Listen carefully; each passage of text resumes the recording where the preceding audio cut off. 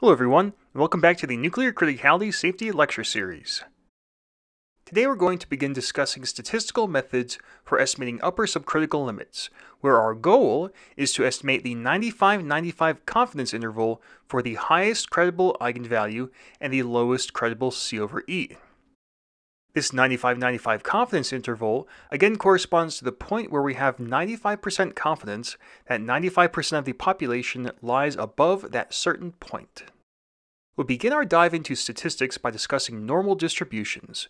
Samples that are drawn independently with some random error will generally follow the shape of a normal distribution, where mu is the mean value for that distribution, and sigma is the standard deviation of that distribution.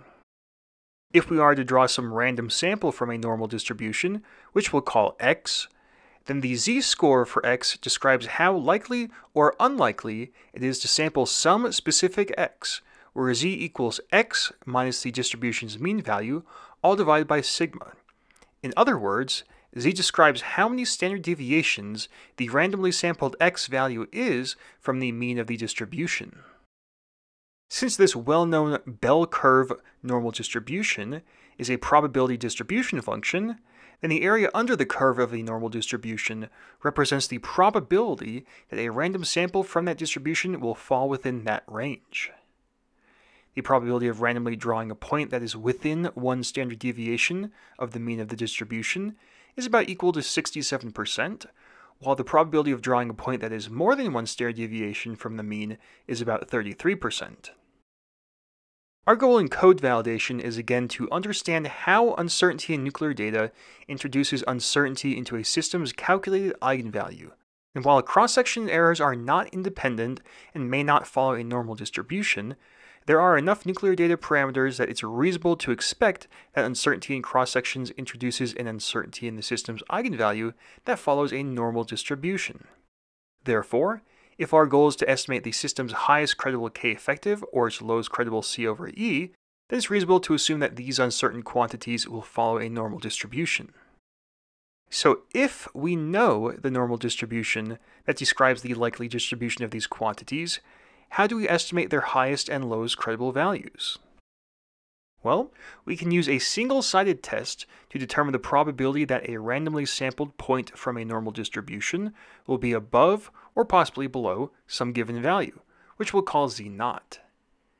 This probability equals the area under the normal distribution's curve beyond z naught, and it's also called the p-value for this statistical test.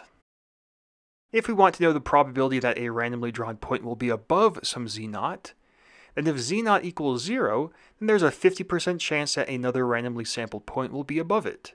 This makes sense since z naught equals 0 corresponds to the mean, or the exact middle, of the symmetric distribution.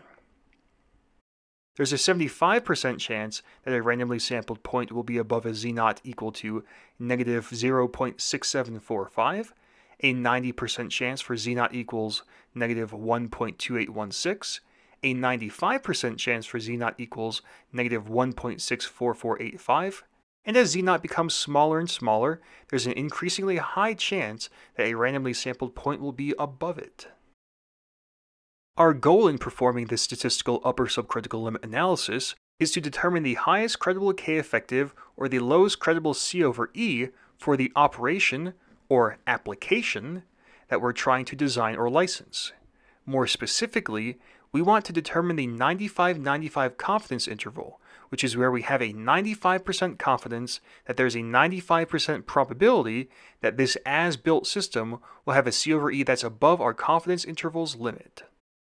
If we know that the distribution of C over E's follows a normal distribution with a known mean and a known standard deviation, then we can determine our limit for C over E by taking the mean C over E for the distribution and adding kappa times the standard deviation of the distribution, where kappa is the z-score, or the number of standard deviations from the mean, that corresponds to a p-value of 95% for this single-sided test.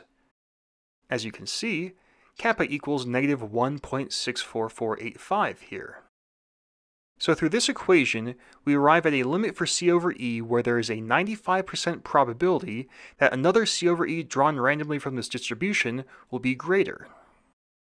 Now, this limit is not actually a 95-95 limit, since a 95-95 limit is where we have 95% confidence that there's a 95% probability that another randomly sampled point will be larger than our limit.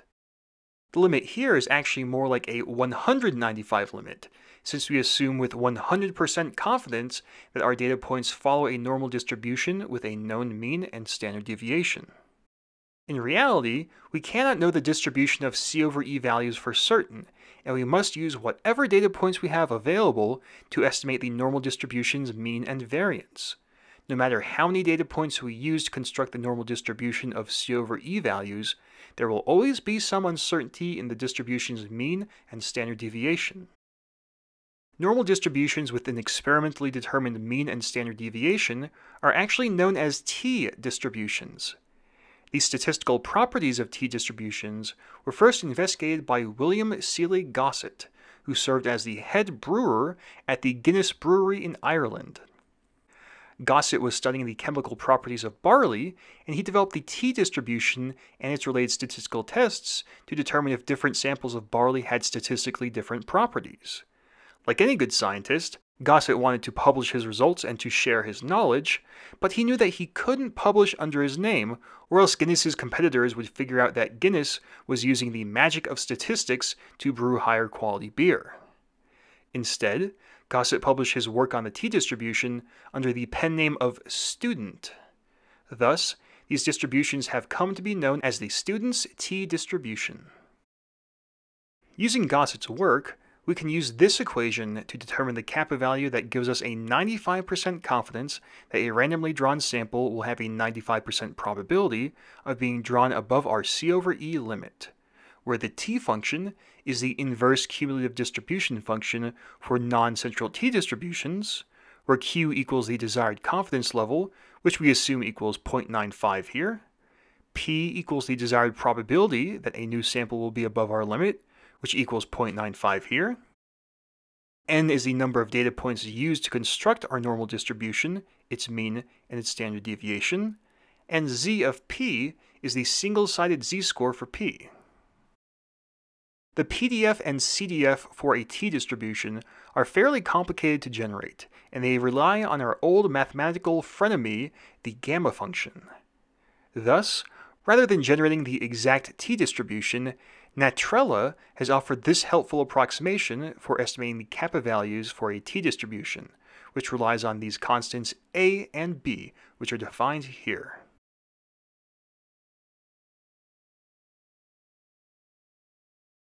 Here are several values for kappa, a, and b, as a function of the number of points used to construct the t-distribution for a 95-95 confidence interval we see that kappa is larger if we have fewer data points with which to construct our normal distribution, and that it approaches negative 1.64485 as our number of data points increases indefinitely. This makes sense. Our normal distribution's mean and standard deviation will contain more uncertainty if we use fewer data points to construct it and so we'll need to use a larger, more negative value of kappa since we have less confidence in the mean and standard deviation of this constructed distribution.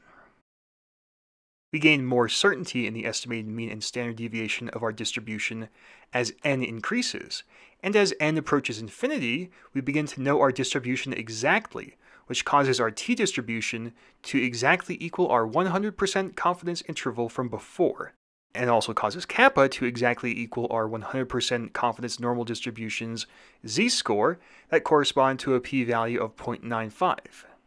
In other words, if we have an infinite number of data points, then our experimentally constructed t-distribution will actually approach the true normal distribution for the population. This method can reliably produce 95-95 confidence intervals if our data follows a normal distribution, but how can we know if our k-effectives and C over E's are normally distributed? Thankfully, there are several statistical tests that helps us check whether a set of data follows a normal distribution.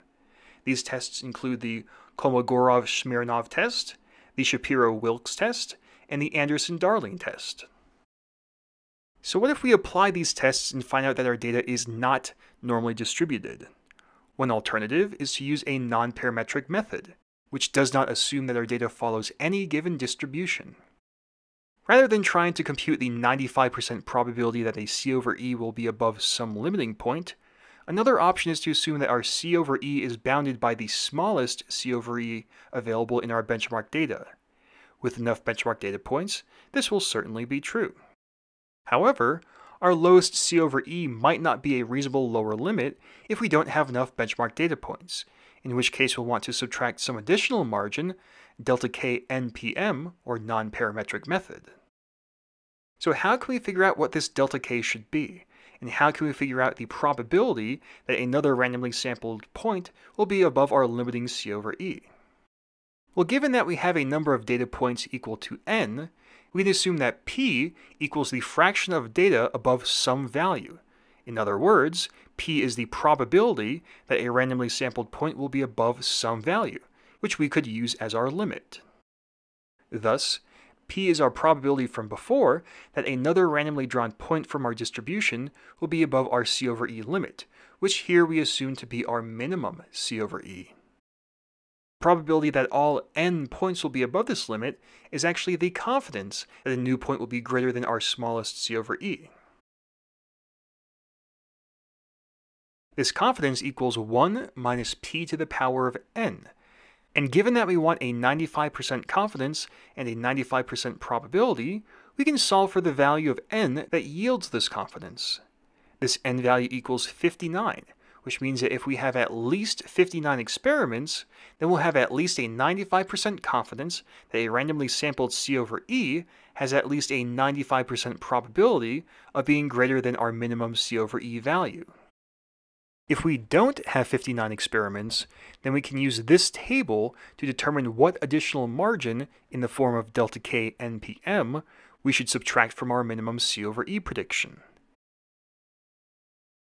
If we have so few points as to have less than a 40% confidence, then we need to find more data points before we can use this non-parametric method. So which of these methods should we use for our 95-95 confidence interval estimates?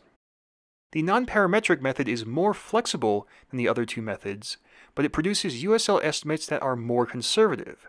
So ideally, we would want to use one of the other methods if possible. We tend not to know the distribution of C over E or K effective values exactly. It tends to be an experimentally determined quantity. So generally this means that we'll have to use the t-distribution based USL estimates. However, the one catch with this analysis is that it assumes that all experimental data points are equally valid and that they can be equally weighted when determining the USL. In practice, this will never be true.